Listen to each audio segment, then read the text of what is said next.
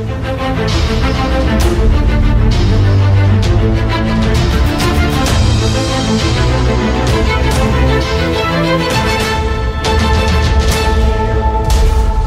we have Shameless season 10, the official trailer for season 10. I'm going to be honest with you guys, Shameless is another great TV show. It's great for the reason for the fact that it deals with real life stuff, man. I've watched this show from season 1 and I just finished season 9 last night. It's one of the greatest shows out there because it deals with real life problems. You get to see what these people grow up, what they what, what they went through their whole entire life, having no parents, having no help. It's crazy. It's real life situations. I fucking love this show. Um, but let yo, I ain't gonna talk too much. Let's go ahead and jump into this reaction.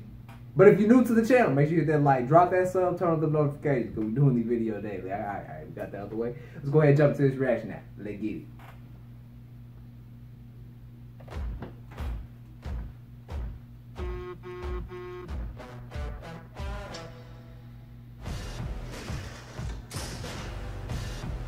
For the last time, I'm not the owner. Wash your own shop. Quit tomorrow, okay? You got his baby?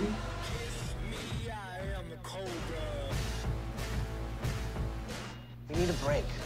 Are you dumping me? This is what you do when a condom breaks. An inheritance waiting for me, and Debbie's holding it hostage. We need money for a rainy day. It's time for you to reclaim your patriarchy. What's he drinking? Testosterone smooth. We don't got a pro? Get his manly mojo back.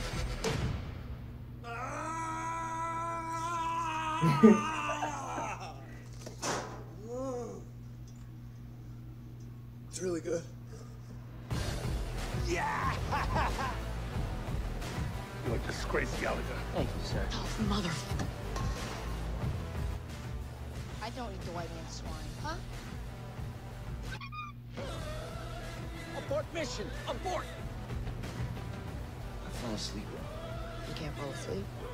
I'm Tired. Welcome to Parenthood.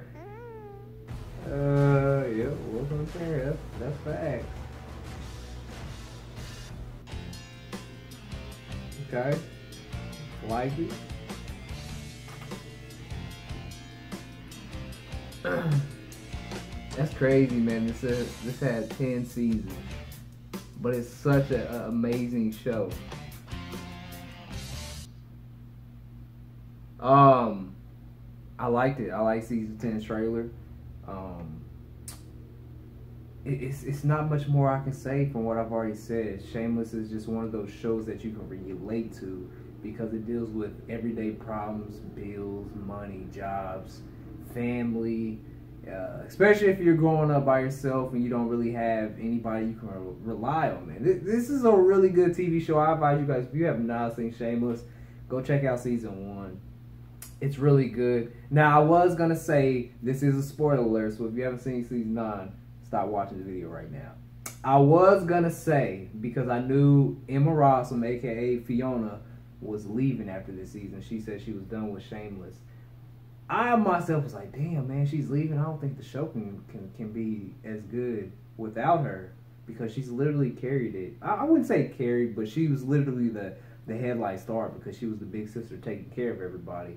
Um, but after watching season nine and seeing how Debbie stepped up and and and uh, and other siblings in the household have stepped up, I think the show can still manage and still be good without Fiona. Although I do like Emmy Emmy Rossum's character, aka Fiona, gorgeous woman. Um, she will be missed. That's all I can say. I did enjoy her character in the show. And season nine, man, she had a real rough patch, but she broke. She got through it, which is crazy, man. It's crazy how life goes. But yo, I ain't gonna rant on too much, man. Check out Shameless, Shameless if you haven't seen it, man. Post your comments down below. Let me know what you thought about Shameless season ten, the official trailer. If you enjoy my reaction, make sure you hit that like, drop that sub, turn on the notifications, cause we drop videos daily. All right. Catch you guys on the next one, man. 100,000 subscribers. Grind time. Let's get.